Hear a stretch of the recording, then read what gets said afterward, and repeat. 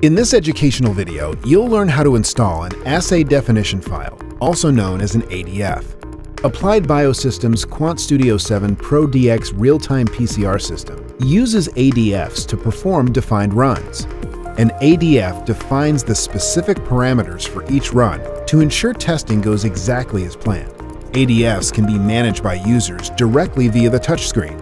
An ADF can contain a range of information, including regulatory status, run name, assay name, properties plate configuration, thermocycling conditions, and more.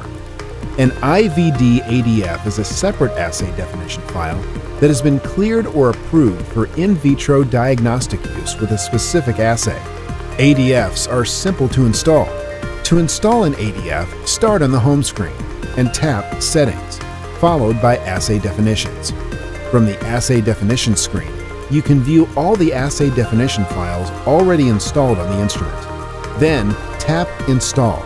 Select the location of the ADF you want to install, either from a USB or networked location, and the install will begin. If you're selecting an ADF from a networked location, make sure to set up the drive location first.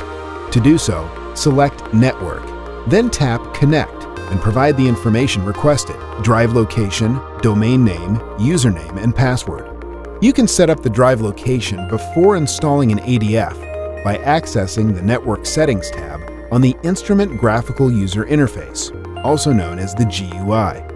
Once your ADF is installed, accept the terms of the ADF. And now you're ready to prep your defined run on the QuantStudio 7 Pro DX real-time PCR system. Learn how to start a run and more at thermofisher.com slash quantstudio7prodx.